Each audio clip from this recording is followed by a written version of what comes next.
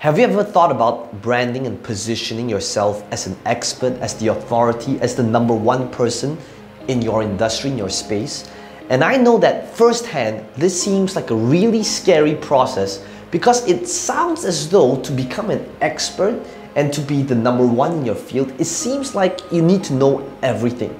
And I know that that seems really scary. But here's the thing that many people don't understand it's that when you become an expert and when you position yourself as one, it's not about knowing everything, but it's about being a few chapters ahead. Now, what am I talking about? You see, just a couple of months ago, I was watching this really old movie from about 15 years ago called Catch Me If You Can. You might have seen this movie before uh, from Leonardo DiCaprio.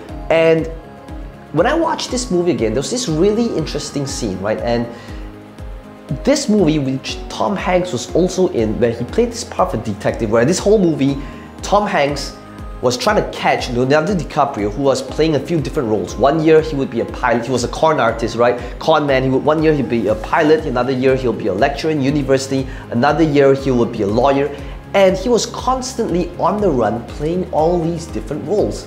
And at the end of the movie, now spoiler alert, I am going to tell you what happens at the end. And if chances are you haven't watched this movie in 15 years, you're never going to watch it. But here's what happens. When he finally gets caught, when Tom Hanks finally catches him, he really wanted to find out how did Leonardo DiCaprio pull off teaching an entire year for an entire semester in this university teaching a topic that he was totally clueless about. And at the end of it all, when he asked him the question, How did you do it? his reply was, Every time I taught a new class, I would just read up the chapter before the class, and then I would teach that one chapter. And what if I told you that in business, it was a very, very similar scenario? What if it was not about knowing everything? Because, quite frankly, nobody knows everything, but rather being a few chapters ahead.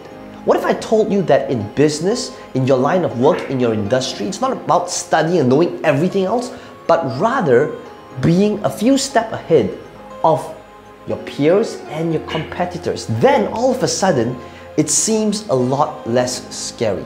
So at the end of the day, it's not about knowing everything, it's about being a few chapters ahead.